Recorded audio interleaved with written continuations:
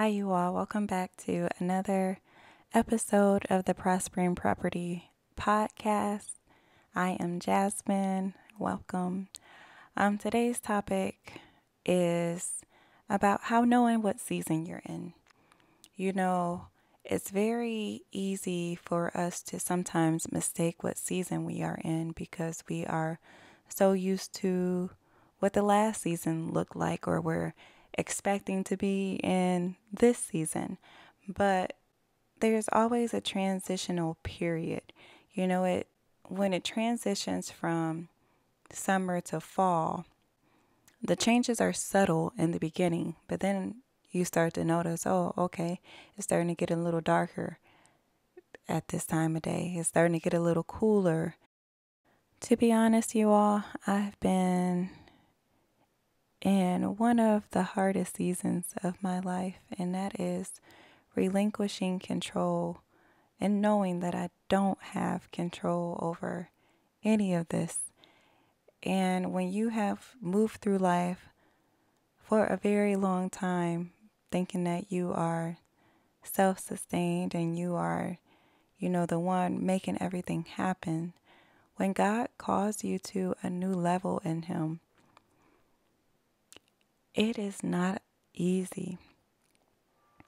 And if you have been following my journey so far, then you already know God called me out of my work back in April, and I have been walking by faith ever since and trusting in Him to pay what needs to get paid, put the food on our table, and, you know, just allow us to live.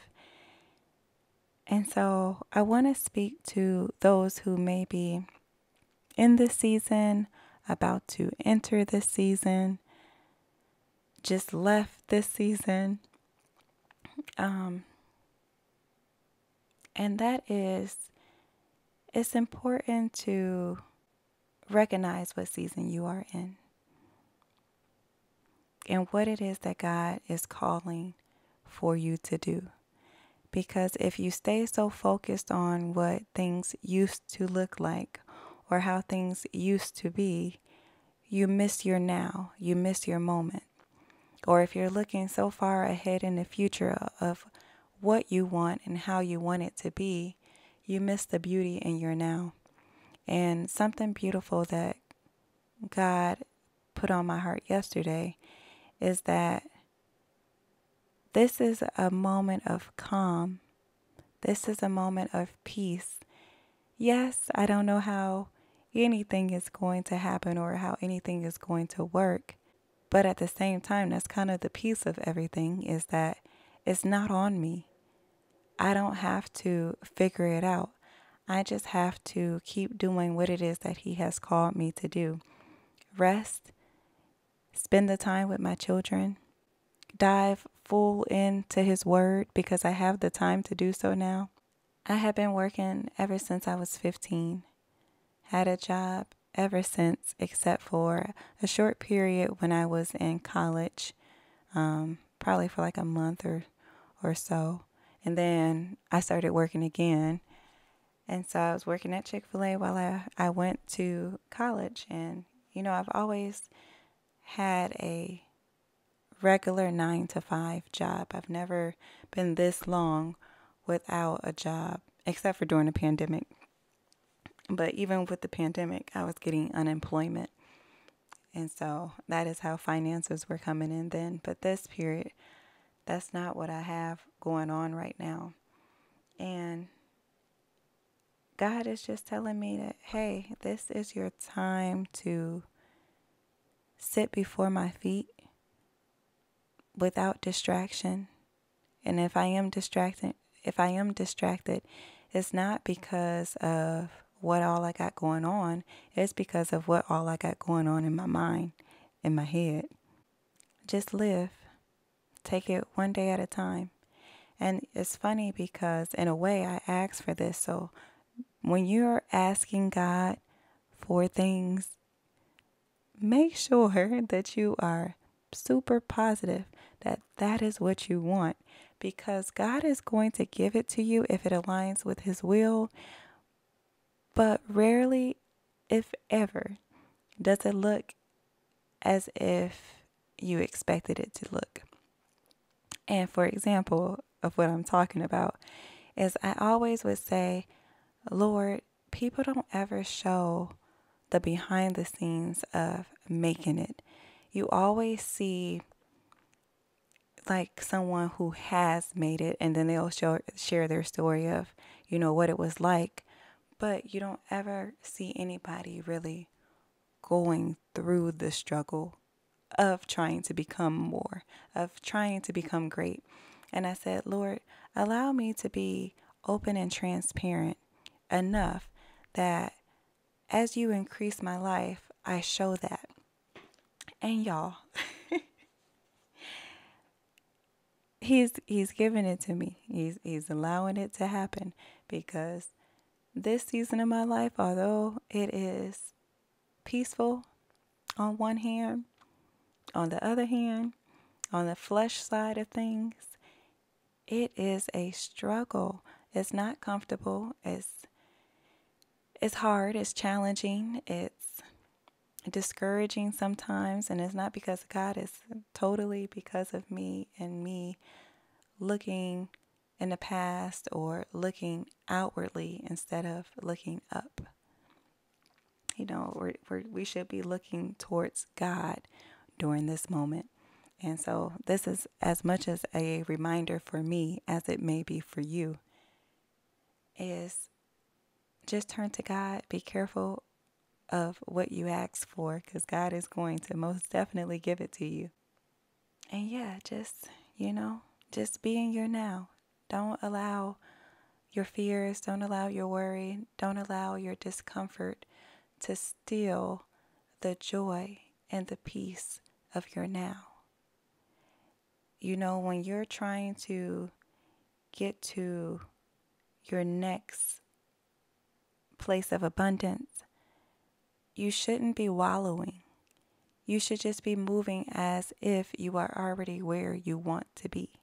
Because if you spend that time wallowing and laying around being depressed and sad about what it is that you do not have or what it is that you used to have that you no longer have, you miss the opportunity to really prepare and get prepared and get into a routine of doing things because trust me when I tell you, when God opens the floodgates, when God releases you, when God takes you out of that secret place, out of the wilderness, into your calling, into your destined place, it is going to be nonstop work you are going to be moving like you are on fire. You're going to constantly be busy, constantly have something to attend to and something to do. So that is why it is important when you're in your slow season, when you're in your your season of wilderness of you know it's not lack. You're not you're not in lack. You're just waiting for your next so when you're in that place, it is imperative that you get before God's feet and you get into a routine so that when more is added onto your plate, you can sustain it, you can handle it without getting burnt out because you you already have your basics, your foundation in place. You're just being built upon from that point forward. But if you miss the chance and the opportunity that God gives you to get that established because you're so worried about what you don't have or what you used to have, is not going to be good for you. And you know, it's funny because earlier today, I gave, if you've never seen um, my channel before, I am a mother of three. I have twin they're 21 months now. I'm sorry, y'all. Time just moves fast. I have twin 21, 21 month year olds and a three year old. And so I made them oatmeal this morning.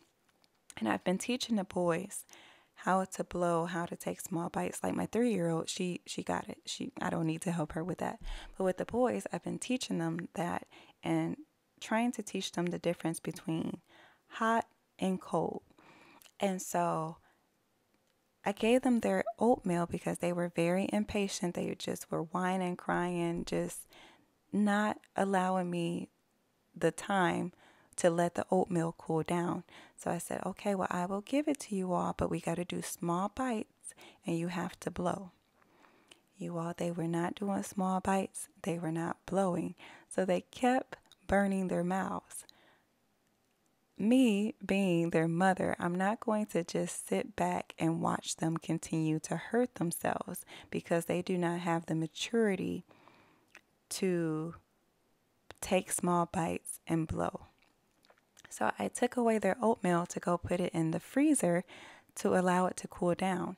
And when I took it away, they started crying, they started throwing a tantrum, just, you know, completely lost it. And that is when God put on my heart that this is how we are a lot of times when it comes to Him. Sometimes God will give us the opportunity to prepare and He'll teach us some things, and then there comes a moment of testing where God allows us to show okay, we learned, we learned a lesson, we know what to do. So he'll give us that test. And sometimes we do not pass that test because we are still not yet mature enough to handle it. And so, like me, taking away the oatmeal, I had the intention to bring it back. I just took it away so that they wouldn't harm themselves. I took it away so that the gift of nutrition would not harm them. And so it's the same with God. When He sees that we are failing with whatever it is He, he has given to us, or if the gift that He gave to us is now starting to harm us because we're not mature enough to handle it, He will take it away not because he's punishing us, but because he wants to bring it back to us when we are either mature enough for it or when the gift can no longer harm us. And so I just thought that was so powerful and so profound and such a beautiful example that he gave to me today of, you know, how we are and how some things can seem as if it's a punishment, as if we are in a place of not getting what it is that we need, but really, God is protecting us. He is safeguarding us. He is going to bring it back. He's going to give to us. It's not that He doesn't want to give to us, it's just we can't handle it right now. It's going to harm us right now. So, what we should do while we wait is not cry, not throw a tantrum, not think, oh, woe is me, why me, why, why do you have me here? No, we should be patient and we should trust that God knows what He's doing and that He is going to supply our every need. He knows that we're hungry, just like I knew my children were. I knew my children were hungry. I was bringing it back, and it wasn't going to be for long. They didn't have to sit without their oatmeal for long. It was probably, you know, a minute, if that, of them waiting. But when you're hungry, when you don't see anything in front of you, sometimes it can feel as if you are waiting forever but really it's not. It's not long. It won't be long. He's just protecting you. So I hope that this resonates. I hope that this helps. I hope I was able to say it in the way that God gave it to me. And I hope whoever needs to hear this is able to hold on to this and grab a hold to it and keep it in their heart and trust and believe and know God got you. Whatever God may have taken away from you, trust and believe He's going to bring it back. And if He doesn't bring that exact thing back, He's going to bring back something even better. So have patience, have faith, and while you wait, just believe in Him, trust Him, give thanks, be glad, and have patience. Don't think about the hunger. Don't think about what you used to have. Don't think about don't think about what it could look like. Just be glad. Be patient. So you all, I thank you so very much for spending the time with me today and if I jumped around, I do apologize, you all. I do not script this. I do not uh, pre plan it before I sit down and talk. I literally just ask God to give to me what it is that He has for whomever this reaches and allow me to be used by Him. At the end of the day, that is all that matters is being used by Him. And I hope and I pray that I am making Him proud and I am doing what it is that He has called me to do. So, you all, in the meantime, in between time, let's continue to prosper properly as its property. Prospering property.